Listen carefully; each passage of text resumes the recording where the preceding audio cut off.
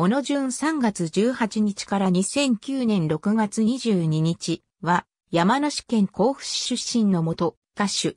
本名は、昇降。妻は元歌手の大宮さよ子。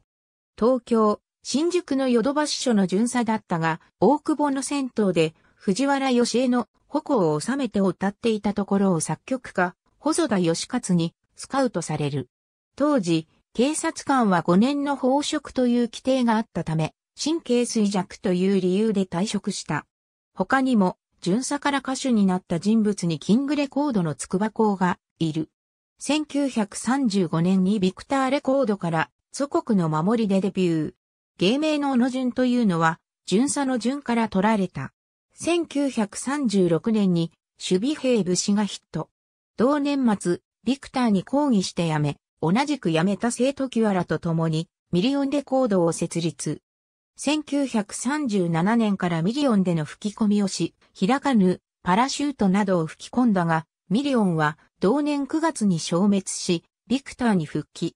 1938年、テイチクレコードに移籍。果てなき DNA、音信はないかがヒットする。特に戦時歌謡を中心に吹き込む。昭和13年には出征し、中国戦線で戦う。戦後も昭和23から24年頃まで歌手活動を続けていたが、私の時代は終わったと引退し、茨城県常陸大宮市で文房具屋を経営していた。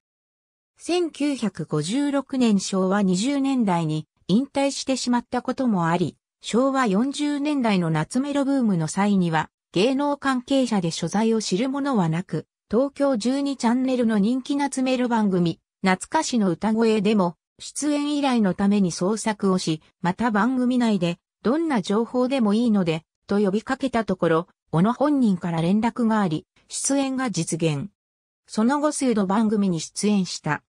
1994年放送の昭和歌謡大全集で過去の小野の映像を放送したところ、夏メルファンから多数の問い合わせがある反響ぶりで、翌年の1995年放送の同番組に数十年ぶりにテレビ出演し、ファンを喜ばせた。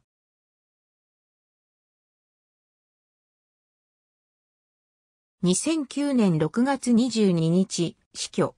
99歳の天寿を全うした。ありがとうございます。